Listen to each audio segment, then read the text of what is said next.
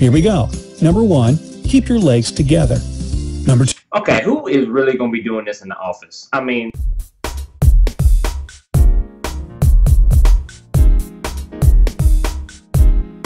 Hey, this is Lance McGowan here, and today we're going to learn about six exercises that you can do for a flat belly while you're sitting in the chair. That's right.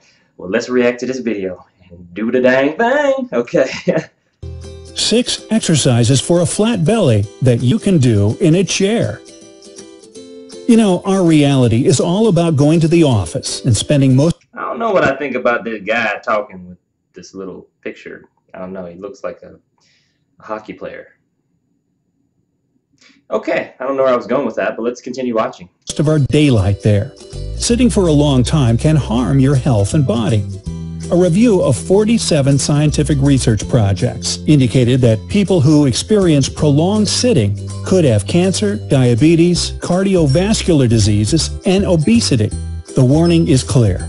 Don't go to the office. Hey, works for me. However, office work has that's right. Instead, stand while you work like I'm doing. yeah. Really helps with circulation, by the way. But sometimes the bottom of my feet fall asleep. And then I just like kind of stand in place, kind of march in place and walk around. TMI? Too much information? Okay. Many advantages as well. So, we found six exercises which you can do at your desk to feel fresh and full of energy. Stay with us to learn more about them, and as usual, there's a little bonus waiting for you at the end. Counting down, exercise number 6. Knee to chest lift. 1. Sit down on a chair. Keep your back straight without touching the back of the chair. 2. Keep your feet. Clearly this ain't gonna work while standing. I almost about fell over. I don't know what I was thinking. Okay. On the floor, hip width apart. Three, keep your back straight, lift your right knee, and pull it to your chest. Keep your belly sucked in. Yeah, you.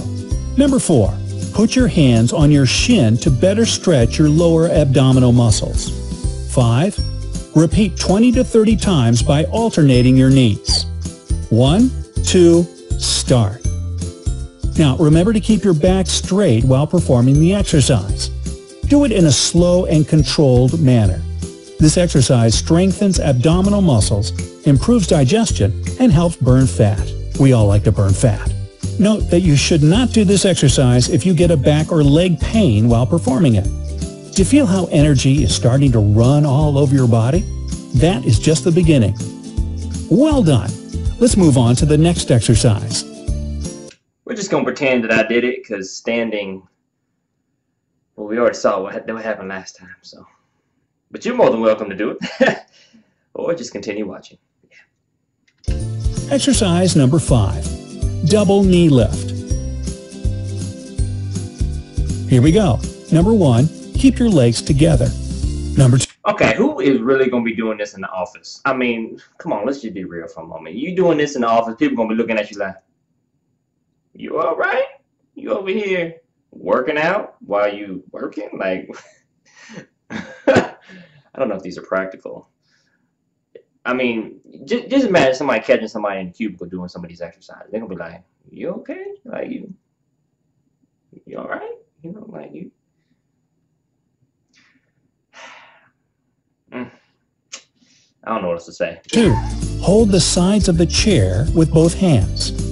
Three, all right, well, if you're not going to sit down and do exercises because you don't want people to think you're crazy, then I think just standing up or walking around, or if you have if you work from home, then yeah, just walking around a little bit. I think that's cool, you know, and, and just getting the circulation going again. So I would I would recommend drinking at least half your body weight in ounces of water, alkaline, distilled, or reverse osmosis, and that'll help with circulation and blood flow and getting oxygen and nutrients to your brain and, and helping with, you know, removing mental fog and helping with clarity, mental clarity, and all that good stuff. Walking around will also get the blood flowing again. And yeah, I think those are some pra more practical ways that won't get as many funny looks, but at the same time, it gets things moving again. I think that's that's the main thing. Is just not to stagnate. Stag not to stagnate in life, businesses, relationships, health, or anything else, really. You just want to constantly grow and keep things moving, right? And uh, I think that's key. There's a lot of principles to pull from all that. well, if you like today's video, make sure to give it a thumbs up. If you want to watch the rest of this video, I'll have the original link in the description below. And otherwise, if you haven't already done so, hit the subscribe button for future video updates, and I will catch you in the next video.